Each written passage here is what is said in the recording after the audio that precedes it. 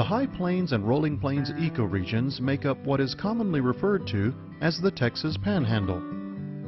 Bordering the states of New Mexico and Oklahoma, these ecoregions cover an area as far south as the cities of Odessa and San Angelo. The eastern edge of the rolling plains encompasses the cities of Abilene and Wichita Falls. With wide open vistas of prairies and playa wetlands, the High Plains is one of the most productive and biologically diverse regions of the state. Still, a great diversity of wildlife continues to thrive here. Mule deer, pronghorn antelope, prairie dogs, migratory waterfowl, and grassland-dependent species such as the lesser prairie chicken.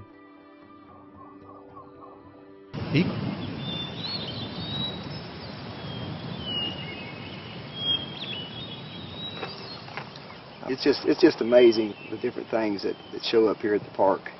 This is the first time I've run across this particular flower. Pat Bales likes to stop and smell the flowers. Beautiful little flower. And after a spring rain at San Angelo State Park, there's a lot to stop and smell. You can be riding along, just winding through the flats, all kinds of bushes and flowers and trees around you, and next thing you know, you drop off into a ravine or into a real rocky area, and so you never know what you're going to see along the way.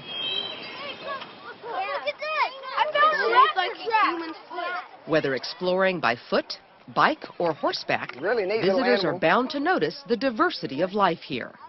I'll just kind of hold him up so y'all can see him there. See, hey, We're kind of at the confluence of uh, four ecological zones out here. We have the rolling plains, the high plains, and then the hill country to the east and Trans-Pecos to the west. We get a little bit of overlap of flora and fauna of those particular regions in this area, which uh, makes it rather rich uh, as, as far as that plant life and animal life is concerned.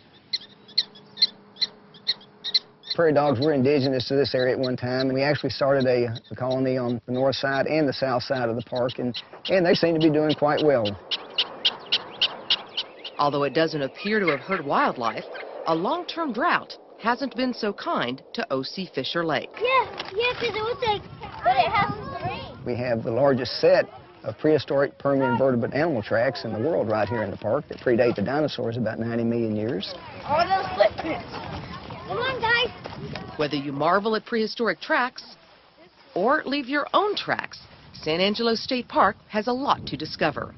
Oh, golly, every day's a new adventure out here, and it gets better all the time.